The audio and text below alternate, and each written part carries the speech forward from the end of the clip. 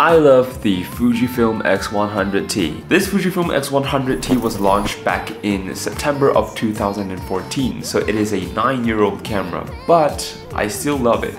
Here's why. Reason number one is the form factor of this camera compared to my work camera, which is my Sony camera.